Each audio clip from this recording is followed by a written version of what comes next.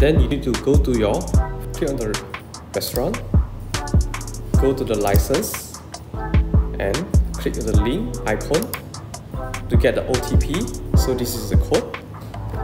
Click on the FeedMe apps, select as a main, then enter the POS license or OTP, fill in, just click confirm.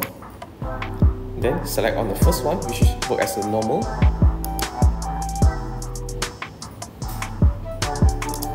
Fill in the profile.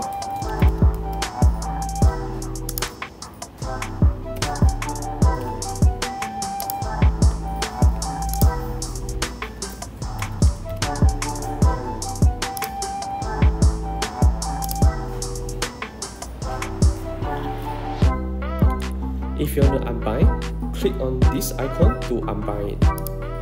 Then just click disconnect. So, cari post system, cari aseng. Find your dashboard, find out. Support system, tak aseng.